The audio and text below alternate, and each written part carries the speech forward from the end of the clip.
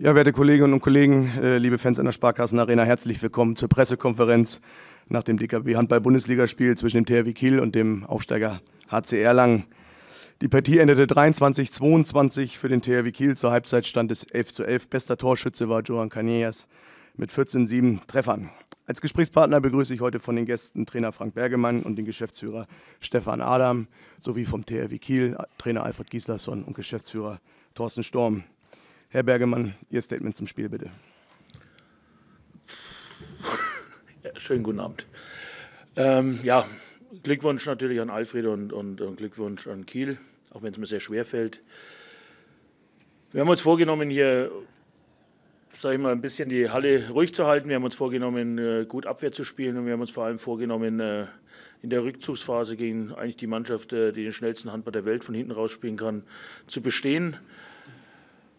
Ich muss meiner Mannschaft wirklich ein Kompliment machen. Wir haben diese Punkte eigentlich, glaube ich, sehr gut gelöst. Wir haben in der Abwehr, obwohl unser Abwehrchef Sebastian Preis heute nicht dabei war, ähm, denke ich mal, äh, versucht sehr gut zu arbeiten und, und auch den Druck ein bisschen auf den Rückraum zu legen äh, von Kiel.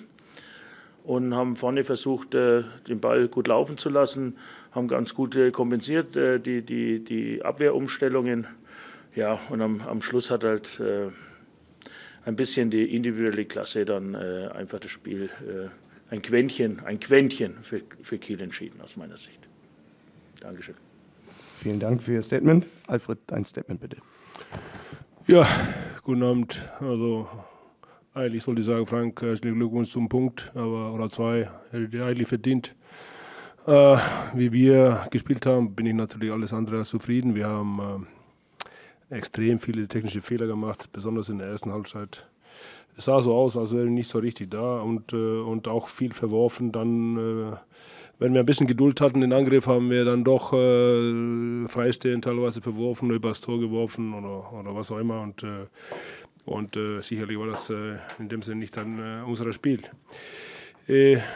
Äh, und ich denke, ich weiß nicht, in der ersten Halbzeit haben wir acht Gegenschusstore kassiert und, und wieder neun technische Fehler gemacht. Das ist natürlich eine, eine Katastrophe. Aber trotzdem muss man sagen, dass Erlangen wie besonders zu Hause, dass er wirklich sehr gut gespielt hat äh, und äh, sehr gute Abwehr gehabt hat mit guten Torhüter und äh, haben auch äh, sehr lange Angriffe gespielt äh, und, äh, und ja, sicherlich auch, auch sehr diszipliniert gespielt. Und deswegen haben wir auch irgendwie Riesenprobleme. Und Einzige, was ich äh, sagen muss, also ist schon ein, ein äh, Lob an meine Mannschaft, dass sie äh, doch äh, nach drei Toren Rückstand sehr gut gekämpft haben, in, in Abwehr besonders. Und, und, äh, und äh, dann, dann doch die Übersicht gehalten, behalten am Ende, um das mit, ja sicherlich auch mit Glück, das Spiel zu gewinnen. Und sah ein bisschen danach aus, als wäre, wäre der eine oder andere schon in, in, mit Kopf in, in Paris, aber,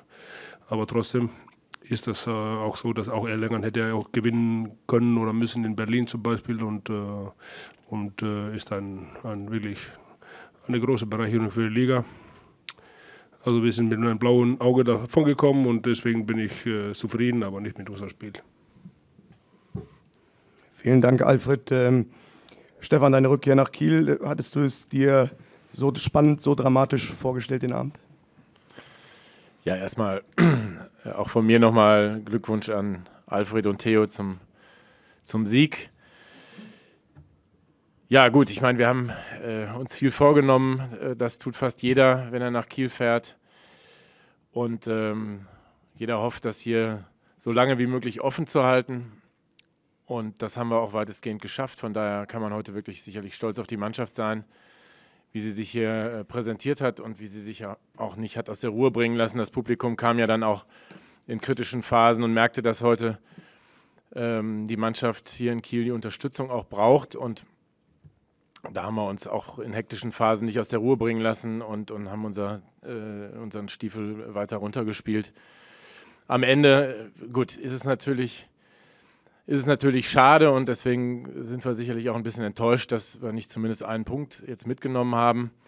Wenn mir das vorher jemand gesagt hätte, dass ich das jetzt hier sage, dann hätte ich dem das nicht geglaubt. Also von daher mit ein bisschen Abstand, glaube ich, wie gesagt, kann man stolz darauf sein, äh, wie unsere Mannschaft sich hier präsentiert hat. Und ähm, ja, wir müssen konsequent unseren Weg weitergehen. Ich hoffe, dass der, der Basti Preis jetzt äh, wieder in Kürze in, ins Team zurückkehrt und äh, weiter fleißig unsere Punkte sammeln, denn wir wollen äh, in den nächsten Jahren ja noch öfter auch hier hinkommen. Und ja, ansonsten alles Gute für Alfred und sein Team und den THW und ähm, bis demnächst. Vielen Dank, Stefan. Thorsten, ähm, ein Spiel mit Puls heute, kann man glaube ich so sagen. Jetzt äh, drei schwere Spiele in einer Woche vor der Brust. Äh, bleibt der Puls beständig oben? Ich fand das heute schon schwer genug. Also, also muss man ja wirklich sagen, dass Erlangen heute eine tolle Leistung hier gebracht hat. Da war, da war sicherlich mehr drin. Äh, einer war vielleicht noch besser, das war Joan Caneas, der hat noch besser gespielt als Erlangen.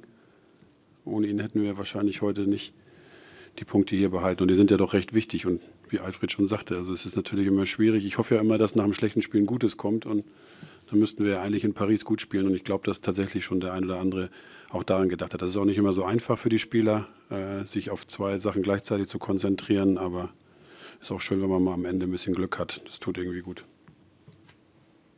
Vielen Dank. Gibt es Fragen an die Beteiligten? Alle sind wunschlos glücklich tatsächlich. Wir sehen uns wieder hier zum Champions League Doppelpack am, gegen Paris am 22. November und Zagreb am 26. November. Für beide Spiele gibt es noch Tickets, also scheuen Sie sich nicht und holen sich Karten. In Kiel ist immer eine Menge los.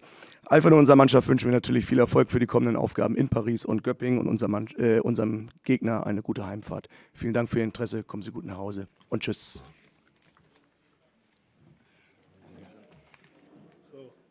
Danke, Stefan. Wir versuchen nochmal zwei Punkte gegen die und du brauchst die anderen.